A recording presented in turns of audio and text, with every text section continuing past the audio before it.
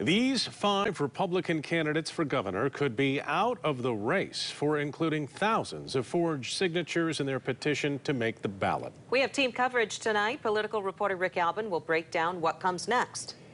First, though, we want to begin with News 8's Byron Tollefson, who spoke with experts about how we got here.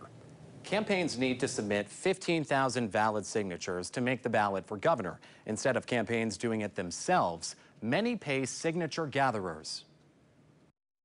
For a statewide race where you've got to collect thousands of signatures, it's quite common for campaigns to basically outsource that activity, to hire a firm that's responsible for hiring the people to actually collect the signatures. After the campaigns submit the required signatures, the Bureau of Elections reviews them. They are, you know, reviewed line by line, uh, and the Bureau strikes any that it recognizes contains errors or otherwise invalid.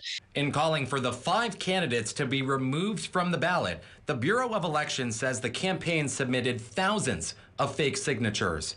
The Bureau says there were clear signs of fraud, like using the same handwriting for multiple signatures, voter names being misspelled, identical pages, and even using names of deceased people. Uh, there was apparently nobody that was paying attention to the actual uh, signature gatherers to make sure that they were doing the job that they were hired to do. Republicans, like gubernatorial candidate James Craig, are putting blame on the signature gatherers, saying they deliberately sabotaged his campaign, which was, quote, defrauded by these criminals, whether for political or monetary gain, and they must be held accountable for their actions, end quote. And a consultant for Perry Johnson put blame on signature gatherers, saying the alleged forgers victimized five campaigns. You know, signature collection is a pretty common thing.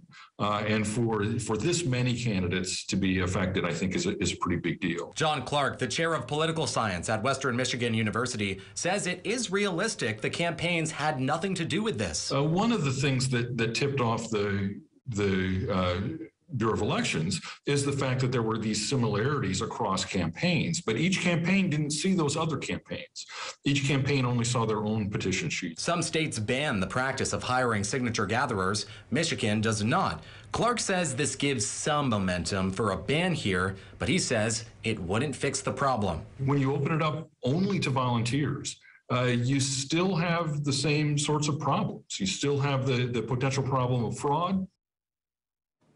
Clark says the Bureau of Elections indicated in its report that it would lay out the possible fraud charges for the Attorney General's office to review. He says it's possible some of the signature gatherers could face criminal charges under Michigan's election law. Byron, thank you. The head of the Republican Party has this to say today in a release from his office.